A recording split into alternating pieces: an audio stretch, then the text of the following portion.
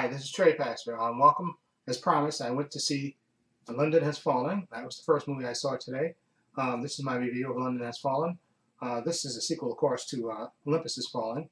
And in this one, you know, it takes place, you know, you have Aaron Eckhart as the president, you have Gerard Butler as Mike Banning, and you have uh, Morgan Freeman as the vice president. You have uh, Angela Bassett, she's the, um, I think, Secretary of State, I think, in this. Anyway, basically what happens in this movie is after the death of the uh, mysterious death of the British Prime Minister, of course, you know, there's a funeral and then all the different world leaders basically go to it. And then if you've seen the trailer, you know what happens.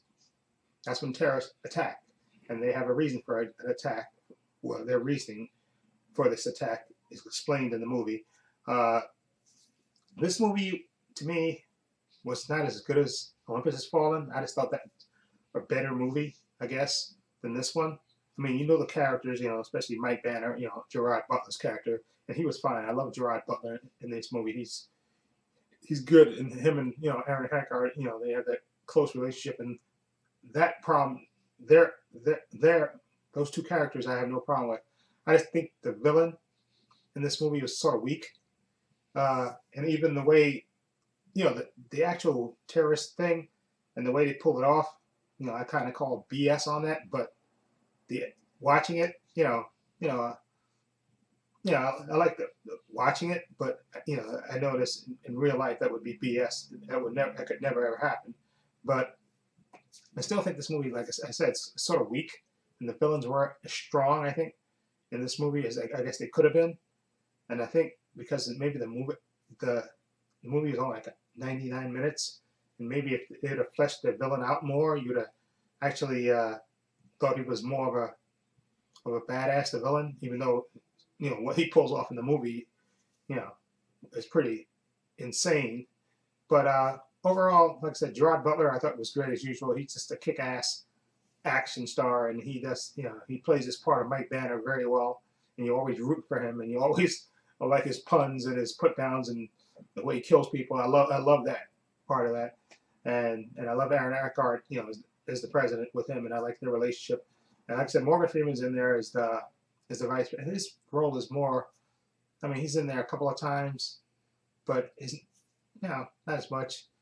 And Angela Bassett, I thought she was pretty good as well in the movie as well. And like I said, the nice violence, a lot of blood, a lot of shooting, a lot of blow, things blowing up, a lot of people dying. Okay, which is what you expect to see in these types of movies. So that you know that was excellent. But I just thought that the villain was sort of weak, even though, like I said, what he pulled off in the movie wasn't weak. But I just think, as far as a character, I think it was just sort of weak. Okay, and that's just my opinion on that. So overall, like I said, I don't think this was as strong, good as Olympus Has Fallen. I think that was a better movie.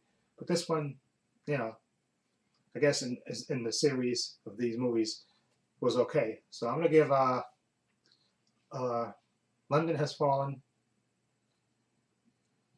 I'm gonna give it a seven. I'll give it a seven out of ten. And like I said, I don't think it's as good as the other one. I think the other one was a better movie. Olympus Has Fallen, but this one is uh, like a notch below it. I think in terms of uh, movies. Okay, so anyway, uh, would I recommend this? Yeah, like I said, if you like the characters, like I said, I like Gerard Butler in this movie, him and Aaron Eckhart. So, know, you, you go to if you go see the movie, you're gonna be rooting for them, of course, naturally, of course. So, I would recommend it if you you know, if you want to go check it out.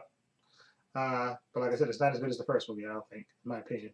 Anyway, let me know what you think of uh, my review. Feel free to leave comments down below. And anyway, I have another channel. It's called Paul's Views and Opinions. If you uh, want to, I'll leave a link to that channel in the description box below. Check it out. And anyway, uh, let me know if you like this review. Please hit the subscribe button down below. And this is Trepacer saying so long and take care.